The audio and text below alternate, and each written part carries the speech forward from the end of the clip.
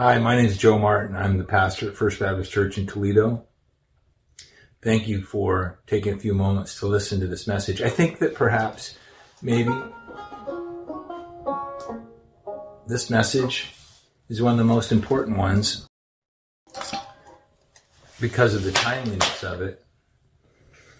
And I really hope that you will stick with me until I can get through. You know, I want to talk to you about loss. We've been talking about walking through loss, but I think it is oftentimes the over. You know, we try. We all are going to experience loss, but the first principle of walking through loss is avoid as much loss as possible. Avoid loss. Do what you can. You know, it seems like this week we're reminded of the three P's that we talked about months and months ago politics, protests, and pandemics. You know, the politics of the last few years, and especially the last few weeks, really the last few months, and especially this week, have brought great loss to people and to our country. A loss of confidence, a loss of security. And you know what's really sad? A lot of what's gone on in politics in the last months has especially brought the loss of many, many friendships of people that have been, and, this is in families too. Many good friends, fellow church members, are lost to each other right now. People who were in the past loved and accepted each other's differences have been poisoned. They've been poisoned by a kind of thinking, a kind of stream of media and messaging They've been poisoned to the way they think about each other. I have heard and seen people talk about anyone who disagrees with them uh, in this current time period, their particular opinion at the moment. I've heard people say things that they talk about somebody who disagrees with their politics like that's the basis of their salvation. They, they're not saved or they are um, are there they're certainly not if they're unsaved they're certainly unwanted in their lives.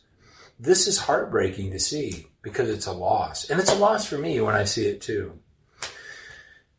You know you know that your mind has been corrupted when you begin to see the people around your life. Sometimes people that have been in your family and people that have been in your friendship circle for years and you begin to break them into a, a strict binary liberals conservatives Democrats, Republicans, whatever you might do.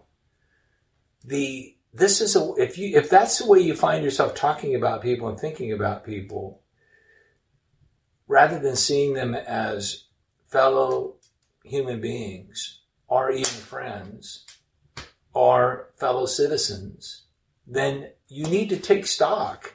You need to pause for a moment and reevaluate where you're at. You see, political cult like zeal on no matter what, what it is, what the origins of it is, has led to terrible losses in relationships and in communities across our land. This inciting anger that's been going on for a long time, this division that has led to, well, that second P, protests. And while there is an appropriate kind of protest where people maybe peacefully people peacefully express how they feel about things and demonstrate about this or that. Um, that's a long tradition in our country, and it's a good tradition.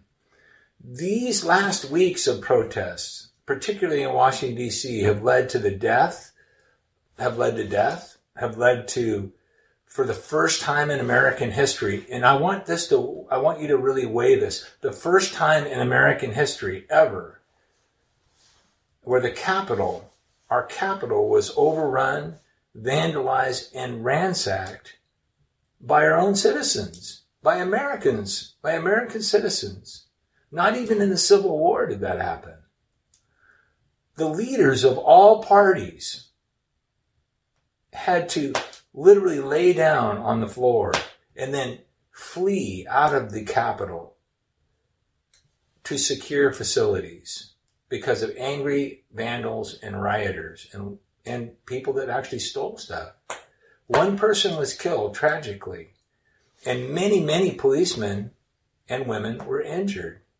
It's important for us to stop for a moment as God's people and you as an individual and face the fact that this is not um, this is not a small thing. You need to connect that kind of behavior with the thinking that has brought this country, the thinking and the messaging and the kind of talk and the kind of conspiratorial thinking that has brought this country to this place of cruelty and a loss of civility. You see, then there's also the losses that we've experienced in this pandemic, not just the losses that come with being restricted and not getting to see people, um, but the deaths. You know, yet this week we reached a, a milestone 3,800 people died from COVID this in one day on Wednesday of this week in the United States. You know, our country has lost over 350,000 people. And our county, even Lewis County alone, where we are in Washington, is running 40 positives a day. Now, what that means is that every one positive, we estimate that they are infecting at least one other person. So that means 80 people are being infected a day, and those 80 people are infecting 80 more people. I'm getting calls as a pastor, small town pastor. I'm getting calls daily of people, church people even, exposed, testing positive, getting sick on one level or the other. Every day that's happening. There is a circle going on in our country right now of death. And this circle of death in our land that is, is incredibly serious. It's harder for us to see because it's happening in ICUs and in care facilities and in, it's spread out enough in a large country that we aren't as aware of it. And so there's lots of people that are dishonestly telling you, minimizing and saying it's all made up. But the fact is, it's not made up.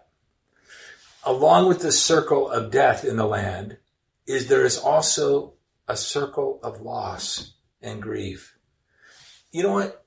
Researchers have told us that just the immediate family, that means like a husband or a wife or a kid, somebody who's living in the household, just the immediate family of the people that have died so far, 3.1 million people are mourning the death of a close relative. That means 3.1 million people are going to miss somebody at their birthday or to play golf or to go hiking with or to um, come to Christmas or to Easter this year. 3.1 million people. And that doesn't include the many, many other friends. That's just an average. That is a huge effect. As a matter of fact, the long term effect of this on millions of broken hearts cannot be calculated when you put it all together within our entire country.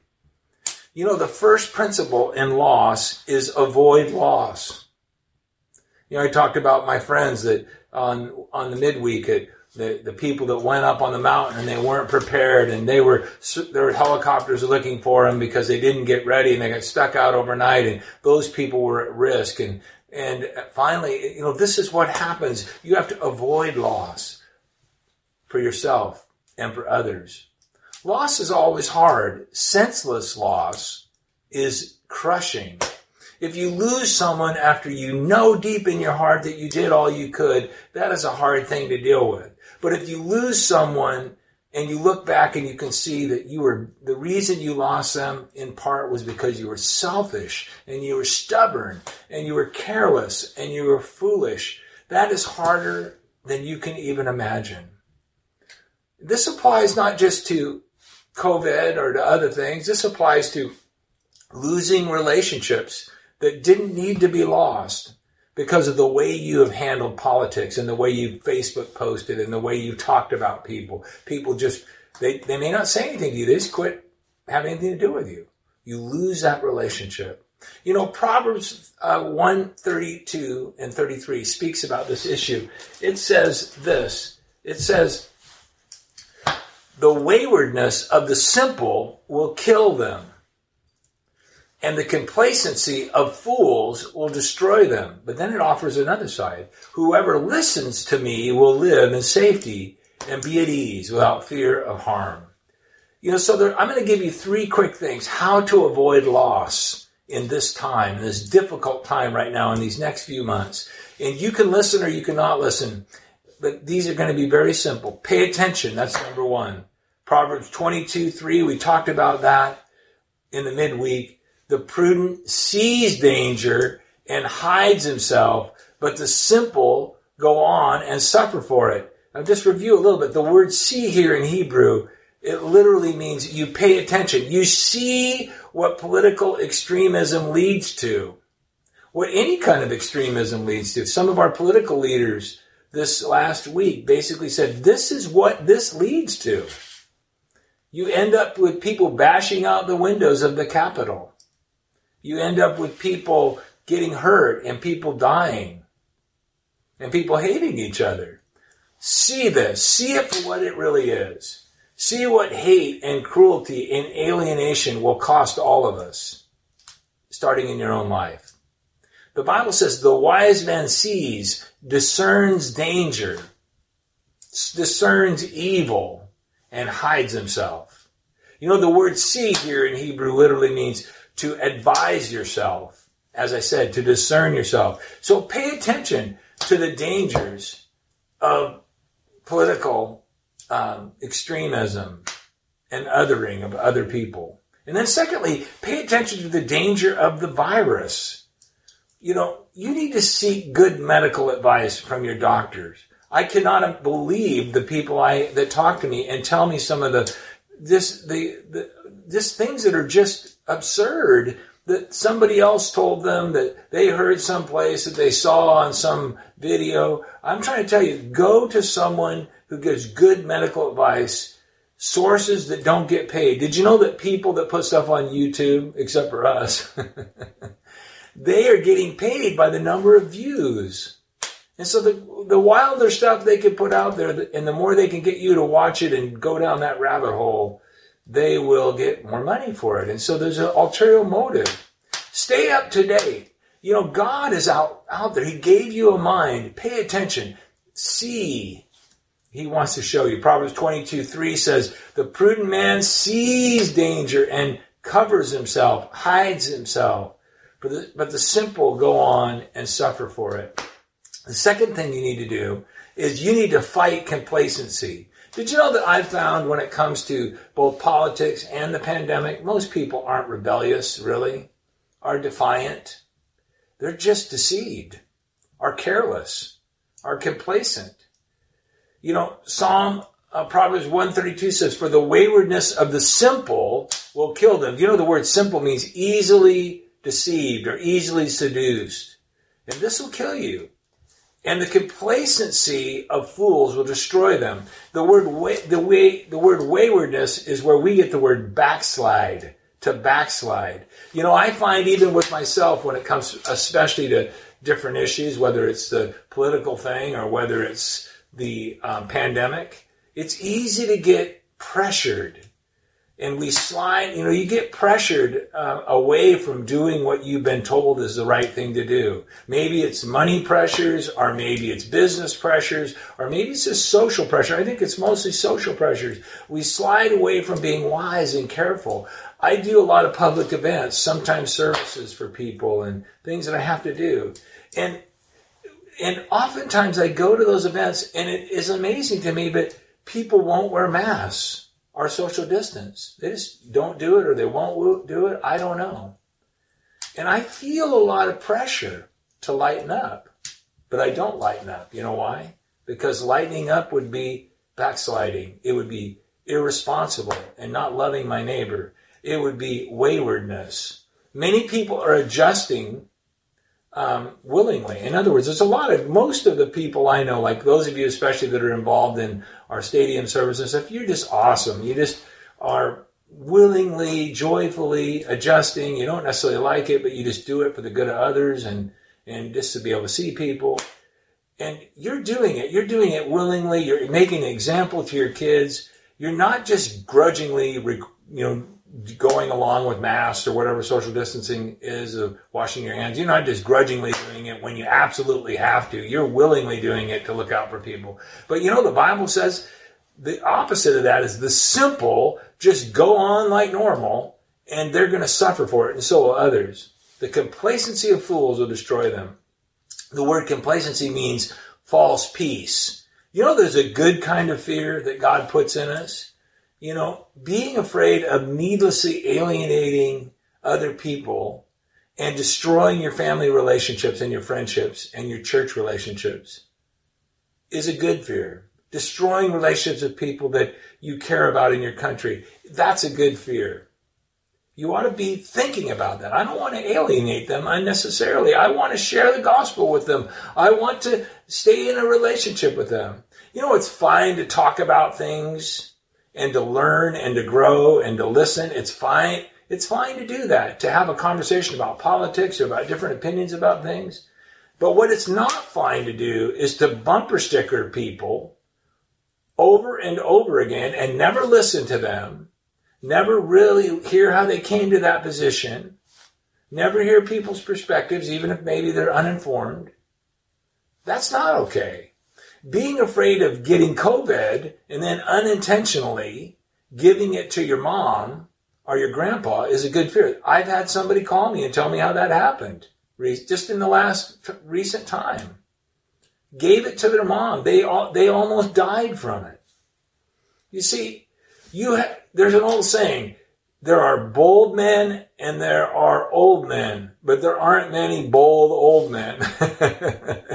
you see, sometimes we get um, uh, people say, "Well, I'm not fearing." You know what? There's a big difference to, between being fearless and being foolish. You see, and the third thing is listen to godly counsel. If you are going to get through these next few months, you're going to avoid loss in your life or in the people's life that you care about, listen to godly counsel. Proverbs 133 says, But whoever listens to me will live in safety and be at ease without fear of harm. Isn't that great? We want to not cause harm. He who walks with the wise, Proverbs 13:20 says, grows wise, but the companion of fools, that means, and by fool, that word fool means the unteachable, those that won't listen. You know, it doesn't matter what happens to them, it doesn't matter what consequences they have on their life or in other people's lives, they won't listen. The companion of fools will suffer harm. You see, this passage makes clear that wisdom and discernment comes from God. How? Mostly through others. Parents, moms, dads, doctors, pastors, advisors. That's where wisdom comes from. Getting instructions on fixing your dryer from YouTube is a great thing. Basing your views about politics or about your medical condition or the pandemic from talk radio is not wise. That is foolish. That is foolish. That's very important to remember that God uses people people that have earned the right to be listened to, not just because they have a mic in their hands or a pulpit to talk on. And by the way, it doesn't make you wise and discerning just because you can you have a platform. Let me tell you, that includes me. You're, I want you to check it out. I want you to have a conversation with me if you want to. You see, my opinion about medicine isn't isn't as valid as Dr. Rob's opinion about medicine or Dr. Falloon's opinion about medicine. I ask them, do you? My opinion or what somebody says, some somebody I don't even know on the some video, my opinion about medicine isn't as valid as my daughter Katie, who spent most I, I mean I watched her spent most of her life going to school to learn this stuff. You know, my opinion about all kinds of things. My opinion about how to fix a car is not nearly as valid as some of you people that are mechanics. And you know what I'm talking about. So stop taking medical advice from truck drivers. Stop taking medical advice from truck drivers. And stop taking truck driving advice from doctors. it's a simple principle. You see, even Proverbs is a call to listen to the wise person, to listen to wise counsel. Wise counsel invo- involves wise people. It doesn't just fall out of the book. Wise people who've earned the right for you to listen to them. You know what Proverbs 2 1 says? My son, if you accept my words and store up my commandments within you, My son, listen to me. It's a father. Turn your ear to wisdom, applying your heart to understanding. And if you call out for insight and cry aloud for understanding, and if you look for it as silver and search for it as hidden treasure, then you will understand and fear the Lord and find knowledge of knowledge of God. For the Lord gives wisdom, and from his mouth comes knowledge and understanding. God will give you wisdom you know, you can't just watch a video that's an hour long and exciting and all polished and say, it makes sense to me. I guess my mind's made up. No, you have to search for it. Wisdom isn't just memorizing Bible verses. It comes from living, breathing people that God uses. Like I said, fathers and doctors and mothers and responsible and rational leaders. You know, we need to listen to leaders and we need leaders in our country to be responsible and emotionally rational and stable. As we walk through this most politically divisive and, and difficult winter since the Civil War, let's avoid losses.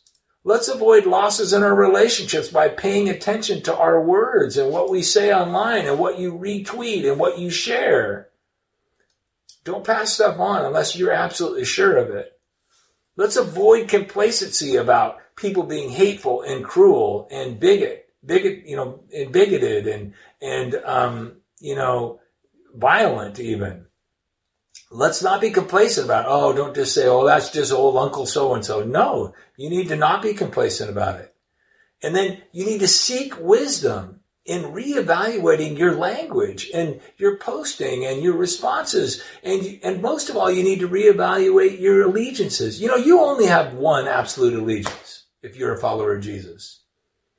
Your absolute allegiance is to Christ and to Christ alone. Not to any politician, not to any preacher, not to anybody else. Your absolute allegiance is to Christ and Christ alone. And so as we walk through the most deadly winter since 1918, the most politically divisive winter, the most deadly winter since 1918. Avoid losses to this invisible danger that we have called COVID 19 by paying attention to the uncomfortable facts, to quit making exceptions to everything, by covering yourself. The, the prudent person sees danger and covers himself. Wear a mask. Wear a mask. Just do it. Wear it willingly. Wear it joy, joyfully. Wash your hands. Social distance. Avoid gathering with people indoors, especially without a mask. And avoid complacency completely in your life. Don't make exceptions, even when you're pressured. You be the responsible adult to encourage people. Look, we're getting to the end of this. There are treatments and there's vaccines that are coming, and th- this is this is this is um, going to help. And so, you be the responsible adult. You seek and listen to wise counsel, not conspiracies, not to crazy videos, not to radio shows or news people that are not um, not qualified to give this advice you talk to your doctor. Talk to some of the doctors in our church. Talk to Dr. Mack or talk to Dr. Falloon. Ask questions to people you know and trust. You know why a lot of times they don't get asked? Because we don't really know for sure if we want to hear their answers. Proverbs 132 says, For the waywardness of the simple will kill them, and the complacencies of fools will destroy them. But whoever listens to me will live in safety and be at ease without fear of harm. I just want to thank you for watching this. And I do want you to respond. There's some next steps at the bottom of your page. And you can respond to those if you'd like. You want us to talk to you and help you and encourage you. Let us know how we can do that. And I also want to continue to thank you for being so generous in your giving. People drop off checks, people mailing checks, people doing it online. You can go to the on the website that you're watching right now and push that green button and it says giving and you can give. And that makes it possible for us to help each other get through this in a way that honors God. God bless you.